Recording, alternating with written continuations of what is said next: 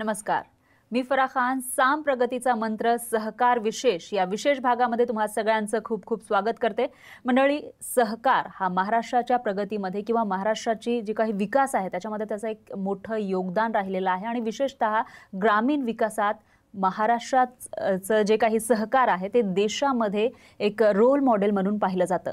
आणि अशामध्ये मागील दोन दशकांपासून सहकाराची जागा स्वाहाकारानं घेतलेली आहे. आणि त्याच्यामुळेच कदाचित सहकार किती अडचणीत आलाय ते संपूर्ण महाराष्ट्रानं पाहिलेलं आहे. आणि साम टी व्हीची भूमिका अशीच राहिली आहे की आपण वेगवेगळ्या विषयांवर हात घालत असतो. यशस्वी परंपरा ही साम टी व्हीची राहिलेली आहे आणि त्यानुसारच आज देखील आज आपण अशाच एका विषयाला हात घालणार आहोत त्याच्यावर चर्चा करणार आहोत. आणि तो म्हणजे सहकार. त्यामुळेच आपला हा विशेष भाग आहे सहकार विशेष. याच्यामध्ये दर मंगळवारी दुपारी साडेतीन वाजता आपण सहकार क्षेत्रातील जे तज्ज्ञ आहेत त्यांच्याशी चर्चा करणार आहोत आणि तुमच्या मनातील प्रश्नांची उत्तरं घेणार आहोत. त्यामुळं पाहत रहा आणि आजचा जो आपला विषय आहे तो देखील सांगते मी. तो म्हणजे राज्य सहकारी बँक आणि त्यापुढील आव्हानं आणि या विषयावर मार्गदर्शन करण्यासाठी आपल्यासोबत आहेत राज्य सहकारी बँकेचे प्रशासक विद्याधर अनास्कर सर. सर आपलं खूप खूप स्वागत आहे. नमस्कार. नमस्कार. तर विद्याधर अनास्कर सर आपल्यासोबत बसलेले आहेत आणि आपल्या प्रश्नांची उत्तरं देणार आहेत. मात्र त्याआधी त्यांची थोडक्यात ओळख करून घेऊया. तर विद्याधर अनास्कर सर हे सहकार आणि बँकिंग क्षेत्राशी गेल्या पंचवीस वर्षांपासून संबंधित तज्ज्ञ म्हणून ओळखले जातात. तर विद्या सहकारी बँकेचे ते अध्यक्ष आहेत आणि गेल्या पाच वर्षांपासून राज्य सहकारी बँकेचे प्रशासक म्हणून उल्लेखनीय काम त्याच्या त्यांच्याकडून झालं आहे त्याशिवाय तोट्यामध्ये गेलेली शिखर बँक अतिशय शिस्तबद्ध पद्धतीनं त्यांनी नफ्यामध्ये आणली आणि सहकार विशेष मालिकेची सुरुवात आज आपण त्यांच्यापासून करणार आहोत आणि आजचा विषय तुम्हाला कळालाच असेल आजचा आपला विषय आहे राज्य सहकारी बँक आणि त्यापुढील आव्हानं. आणि या संबंधीचा माझा पहिला प्रश्न आहे सर तो म्हणजे राज्य सहकारी महाराष्ट्रातील ज्या सहकार क्षेत्राची शिखर संस्था म्हणून ओळखली जाणारी राज्य बँक आहे त्याच्यामध्ये खरोखरच शिखर संस्था म्हणून ही बँक आपलं कर्तव्य पार पाडते का? निश्चितच. कारण यापूर्वी जर बघायला जाल तर राज्य सहकारी बँक म्हणजे फक्त जिल्हा बँका आणि शुगर फॅक्टरीज. यांनाच कर्ज पुरवठा करणारी बँक म्हणून तिची ओळख होती. परंतु आम्ही ज्यावेळी प्रशासक म्हणून इथं आम्ही आलो त्याच्यानंतर आम्ही याची संपूर्ण ओळख बदलायचं ठरवलं. आणि या राज्य बँकेवर महाराष्ट्रातल्या सगळ्या सहकारी संस्थांना प्रतिनिधित्व मिळालंच पाहिजे. या दृष्टीने पहिल्यांदा एक धाडसी निर्णय घेतला. तो म्हणजे या राज्य सहकारी बँकेची उपविधी बाय बायलॉज आहेत. त्यामध्ये आम्ही आमूलाग्र बदल केले. आणि एकंदर एकवीस लोकांच्या संचालक मंडळामध्ये जवळजवळ बारा लोक जिल्हा बँकेची होती. त्यांचं प्रतिनिधित्व आम्ही कमी केलं त्यांचं सातवर प्रतिनिधित्व आण आणलं. आणि या संपूर्ण शुगर फॅक्टरीचा प्रतिनिधी सूत गिरण्यांचा प्रतिनिधी हाऊसिंग सोसायट्यांचा प्रतिनिधी ना नागरी बँकांचे चार प्रतिनिधी आणि आजपर्यंत या बँकेमध्ये कधीही जवळजवळ पंचवीस हजार क्रेडिट सोसायटीज आहेत पतसंस्था. त्यांना प्रतिनिधित्व मिळालेलं न नव्हतं. अच्छा. खरं म्हणजे महाराष्ट्रातल्या अर्थव्यवस्थेत या सगळ्या लोकांचा खूप जवळनं हि- हिस्सा आहे. असं असताना राज्य बँकर मात्र यांचं प्रतिनिधित्व कुठेही दिसत नव्हतं. मग अशा प्रकारे पहिल्यांदाच एक अत्यंत धाडसी निर्णय घेऊन या राज्य बँकेच्या उपविधीमध्ये बदल करून महाराष्ट्रातल्या प्रत्येक सहकार क्षेत्रातील सेक्टरला आम्ही यामध्ये प्रतिनिधित्व दिलं. त्यामुळे आता खरोखर शिखर बँक म्हणजे या संपूर्ण सहकार क्षेत्राचं एक पालकत्व स्वीकारलेली बँक. असं जे आमचं स्वरूप आज जे दिसतंय त्याच्या पाठीमागे हा आमचा एक प्रयत्न होता. आणि हे झाल्यामुळे या संपूर्ण या सहकार क्षेत्राचे व्यवहार हे राज्य बँकेतर्फे व्हायला लागले. त्यांच्या अडचणी त्यांचं सोल्युशन. त्यामुळे आपाप ही राज्य बँक ही शिखर बँक म्हणून जी आम्ही बिरदावली मिरवतोय ती सार्थ आहे असं मला स्वतःला वाटतं. अच्छा आणि सार्थ अजूनही सार्थ करण्याचा प्रयत्न तुम्ही करत आहात सर.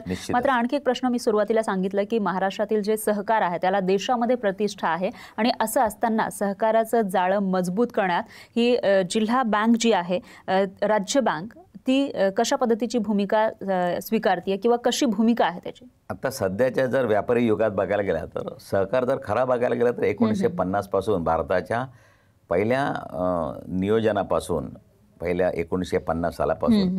प्रत्येक पंडित जवाहरलाल नेह नेहरूंनी पण त्या काळात असं सांगितलं होतं की प्रत्येक गावामध्ये एक शाळा एक ग्रामपंचायत आणि सहकारी संस्था असलीच पाहिजे अच्छा. कारण सहकार म्हणजे प्रायव्हेट आणि पब्लिक सेक्टरचं एक सुवर्णमध्ये. एका माणसाला स्वतःची इच्छा जर पूर्ण करता येत नसेल अशी दहा कॉमन नीड असणारी लोक एकत्र येतात कॉमन हॉटस्पॉटमध्ये पैसे टाकतात आणि आपली गरज पूर्ण करतात. हो. त्यामुळे हा खरं सहकाराचा आत्मा आहे सहकार्य. त्यामुळे हळूहळू या व्यापारी वातावरणामध्ये सहकाराचा आत्मा हरवतोय असं वाटायला लागलं. हो. आणि तो टिकावा म्हणून या दृष्टीने आमचे प्रयत्न आहेत. आणि त्याच्यासाठी आम्ही या सहकारी संस्था टिकल्या पाहिजे सहकार तत्वावरच टिकल्या पाहिजेत. याच्याकरता आम्हाला जे जे काय प्रयत्न करावे लागतात. ते राज्य बँकेमार्फत केले जातात. आम्ही फक्त कर्ज देणं आणि वसुली करणं इथपर्यंतच मर्यादित न ठेवता. एक छोटं उदाहरण देतो की सहकारी ज्या शुगर फॅक्टरीज आहेत म्हणजे आमच्या उत् आमच्या कर्जाची परतफेड ही त्यांच्या उत्पन्नातूनच झाली पाहिजे याच्याकरता त्यांना उत्पन्नक्षम बनवायचं काम आमचं आहे. आम्ही कर्जाची परतफेड ते बुडीत झाल्यानंतर त्यांची जागा विकान विकून ते वसुली हा पठाणी व्यवसाय आम्ही सोडून दिलाय. आम्ही त्यांना उत्पन्नक्षम बनवतो आता आम्ही. सहकार परिषद घेतोय साखर परिषद घेतो. यामध्ये त्यांचं उत्पन्न कसं वाढलं पाहिजे याच्याकरता संशोधन प्रक्रियेवर पण राज्य बँक काम कर करते. आणि त्यांना उत्पन्न कमवायला लावायचं सहकार वाढवायचा. आणि मग त्याच्यातनं परतफेड. त्यामुळे सहकाराचं जाळं खोल व रुजेल. आणि सहकाराला पूर्वीसारखे दिवस प्राप्त होतील याच्याकरता राज्य बँक संपूर्ण प्रयत्नशील आहे. निश्चितच. म्हणजे सहकाराला पूर्वीसारखे सुवर्ण दिवस प्राप्त होतील असं म्हणायला हरकत नाही त्याच्यासाठी प्रयत्न देखील तुम्ही करतायत. मात्र त्याच्यामध्ये आणखी एक गोष्ट आहे ती म्हणजे व्यावसायिकता. म्हणजे व्यावसायिकता देखील आली पाहिजे. मग राज्य सहकारी जी बँक आहे त्याच्या व्यवहारांमध्ये व्यावसायिकता आणण्याचं जे आव्हान आहे तुमच्यासमोर ते तुम्ही कसं पूर्ण कराल? आम्ही टोटली आता आमच्यावर एक रिझर्व्ह बँक आणि नाबार्ड या दोघांचं कंट्रोल आहे. हे. आमचे दोन्ही आमचे रेग्युलेटर आहेत. त्यामुळे रिझर्व्ह बँक आणि नाबार्डला जिथं जिथं आमच्याकडनं व्यावसायिकता प्रोफेशनलिझम अपेक्षित आहे. म्हणजे वेल मॅनेज आणि फिनान्शियली साऊंड बँक याचे काही पॅरामीटर्स या रिझर्व्ह बँकेने नाबार्डनी सेट केलेत. आणि त्या- त्याच्यानंतर आमची प्रत्येक इन्व्हेस्टमेंट ही जास्तीत जास्त नफा त्याचबरोबर जरुरी पुरता नफा हे पण आमचं एक तत्व आहे की सामाजिक आणि व्या व्यावसायिक दोन्हीचं सम कॉम्बिनेशन आम्ही या बँकेमध्ये केलं केलं. आहे त्यामुळे कुठेही व्यावसायिकता जरुरी पुरता खर्च. आणि कुठेही आमचं जास्त आवाज हवा त्याला इन्कम लिकेज आहे म्हण- म्हणणं ते काढून टा टाकणं. आणि योग्य प्रकारे प्रत्येक गोष्टीची इन्व्हेस्टमेंट हां. ही योग्य प्रकारे करणं. त्यामुळे आमच्यामध्ये प्रत्येक निर्णयामध्ये प्रोफेशनलिझम आहे. व्यावसायिकता आहे. भावनेच्या भरामध्ये कोणताही निर्णय घेतला जात नाही. मेरिट ज्याला आपण म्हणतो त्यामुळे कुठेही असं मनात आलं म्हणून कुठलाही निर्णय झा- झालाय हा आर्थिक कसोट्यांवर ताऊन सुलागून प्रत्येक निर्णय घेतला जात असल्यामुळं बँकेला जवळजवळ अकराशे सत्तर कोटीचा तोटा होता ओ. तो को- तोटा संपूर्ण तीनशे एकाहत्तर कोटी रुपये जे बँक नफ्यात आहे आणि आज तुम्ही बघायला गेला तर एकशे आठ वर्षाची बँक हा, आहे हा. एकशे आठ वर्षामध्ये सगळ्यात जास्त टर्नओव्हर पस्तीस हजार पाचशे पन्नास कोटीचा टर्नओव्हर या वर्षात आहे हा. हा सगळा व्यावसायिकतेचाच परिपाक आहे. कुठे भावनेच्या भरामध्ये निर्णय प्रक्रिया राबवली जात नाही निश्चितच. निश्चितच. म्हणजे व्यावसायिकता आहे आणि त्याच्यामुळेच हा फायदा होताना दिसतोय. मात्र आणखी एक गोष्ट सर म्हणजे नेहमी आरोप होतात की सहकार क्षेत्र जे आहे ते राजकारण्यांच्या हातातील बाहुलं आहे आणि राजकारणासाठी सहकारी बँकेचा किंवा सहकार क्षेत्राचा वापर केला जातो. हे खरं आहे का? आता तसं बघायला तर सहकार हा शब्द समृद्धीचा दर्शक आहे. की सहकार हा वस्तुविनिमयाशी निगडीत असल्यामुळं सहकाराला त्यात व्यवहार आला. त्यामुळं जिथं राजकारणात जे लागतं की मनुष्यबळ आणि सत्तेला सत्तेच्या राजकारणात मनुष्यबळ आणि पैसा या दोन गोष्टी लागतात. आणि या दोन्ही गोष्टी सह सहकारात आहेत. त्यामुळं राजकीय लोकांचं ओढा सहकाराकडं असणं बट नॅचरल आहे. हो. त्यामुळं सह सहकार हा त्यांच्या दृष्टीने त्यांचं सत्तेच्या राजकारणामध्ये मनुष्यबळ आणि पैसा या दोन्ही गोष्टी सहकारात मिळत असल्यामुळं या सहकारी संस्थांचा उपयोग राजकारणामुळे होत असतो.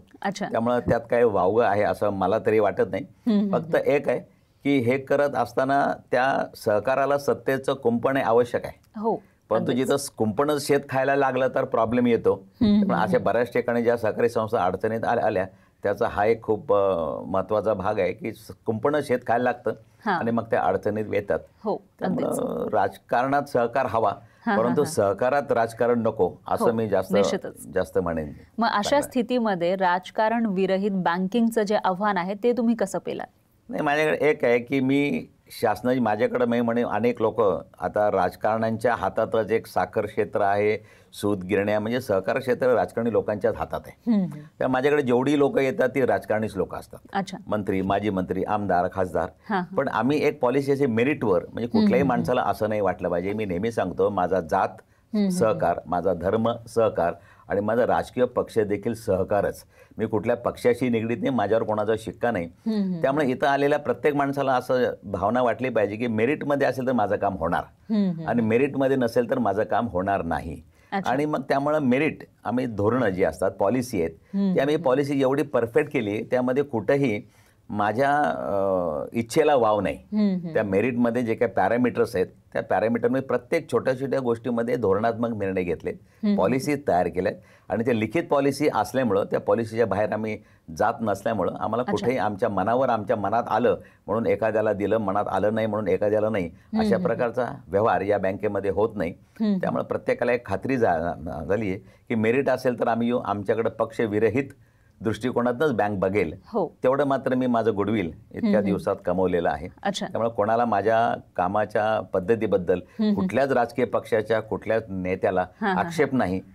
हा हा. हो निश्चितच. म्हणजे आक्षेप नाही आणि तुम्ही ते पुरावे देखील सादर केलेले आहे. म्हणजे तुम्ही कशा पद्धतीनं काम करतायत हे दाखवून दिलेलं आहे खरं. आणि जे काही मला वाटतं की जनतेच्या मनामध्ये किंवा लोक जे आता आपल्याला बघतायत प्रेक्षक त्यांच्या मनामध्ये निश्चितच काही प्रश्न असतील आणि त्या प्रश्नांची उत्तरं तुम्ही या ठिकाणी देत आहेत असेच भरपूर प्रश्न आहेत आणि बरीचशी तथ्य तुमच्याकडून जाणून घ्यायची आहेत. मात्र थोडंसं आपण थांबूयात.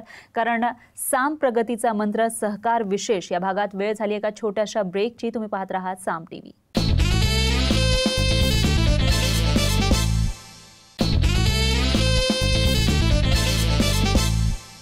ब्रेकनंतर साम प्रगतीचा मंत्र सहकार विशेष. या विशेष भागामध्ये तुम्हा सगळ्यांचं पुन्हा एकदा स्वागत आहे. आजचा आपला विषय आहे राज्य सहकारी बँक आणि त्यापुढील आव्हानं. आणि या विषयावर आपल्याला मार्गदर्शन करतायत राज्य सहकारी बँकेचे प्रशासक विद्याधर अनासकर सर. त्यांनी बऱ्याचशा गोष्टी सांगितलेल्या आहेत. सहकार क्षेत्रामध्ये नेमकं काय काय होत असतं आणि राजकीय हस्तक्षेप कसा आहे किंवा त्याला ते कशा पद्धतीनं पेलतायत या सर्व प्रश्नांची उत्तरं ते देत आहेत आणि आणखी मला वाटतं की तुमच्याही मनामध्ये निश्चितच प्रश्न असतील आणि त्याच प्रश्नांची उत्तरं आता आपण त्यांच्याकडून घेतोय. आणखी एक प्रश्न आहे तो म्हणजे राज्य ज्या काही जिल्हा बँका आहेत त्यांच्याविषयीचा आहे सर. खरं तर जिल्हा बँका तुम्ही सांगतायत की सहकारी बँकेचा जो नफा आहे तो वाढलाय. मात्र अशा जिल्हा बँकेमध्ये किंवा कुठेतरी त्या सक्षम नाही आहेत असं म्हटलं जातं. तर मग जिल्हा बँकांना सक्षम करण्यात कोणती आव्हानं आहेत सध्या?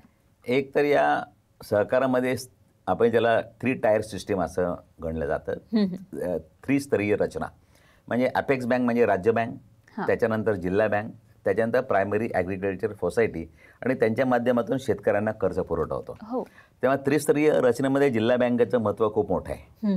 परंतु एकंदरीत या जवळजवळ महाराष्ट्रात बघायला झालं तर अकरा ते तेरा जिल्हा बँका अडचणीत आहेत. त्यांचं एन पी ए इतकं वाढलं आहे वर्धा जिल्हा बँक बघायला झालं तर त्र्याण्णव टक्के अठ्ठ्याण्णव टक्के एन पी ए हो. म्हणजे शंभर रुपये कर्ज वाटल्यापैकी अठ्ठ्याण्णव टक्के कर्ज थकीत आहेत. मग अशा जिल्हा बँकांचं अस्तित्व हे टिकलं पाहिजे. ते सक्षम झालं पाहिजे.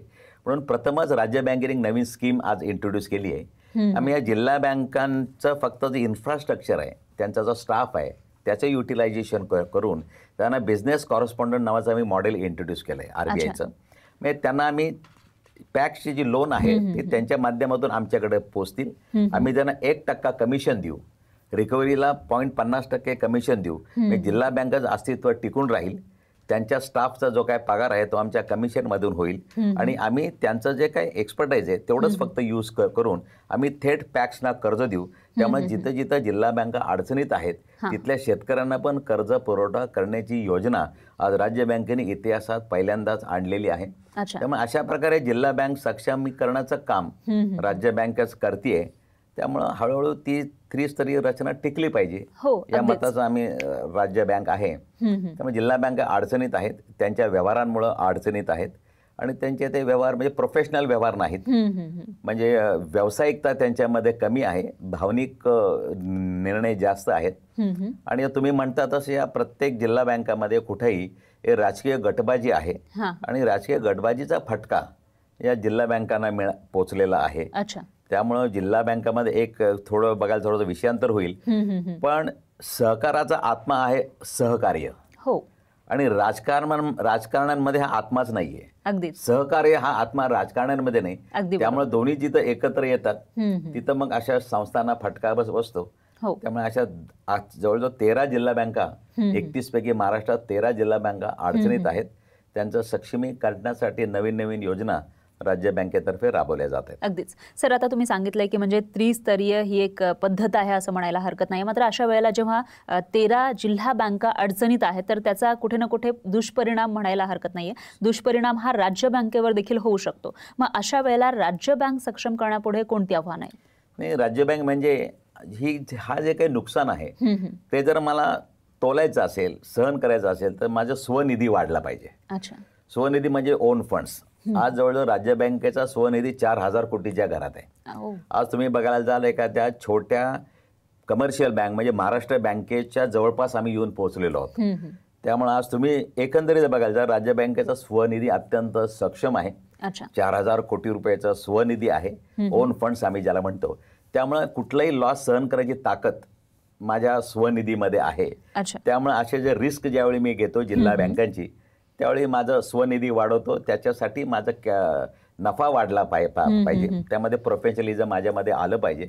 त्यामुळे जास्तीत जास्त नफा वाढवून माझा स्वनिधी कसा वाढेल याच्या प्रयत्नामध्ये आम्ही असतो नेहमी. निश्चितच. मग अशा वेळेला सर राज्याच्या अर्थव्यवस्थेमध्ये स्वतःचं अस्तित्व टिकवून ठेवण्यासाठी म्हणा किंवा ते सिद्ध करण्याची कोणती आव्हानं आहेत राज्य बँकेपुढे?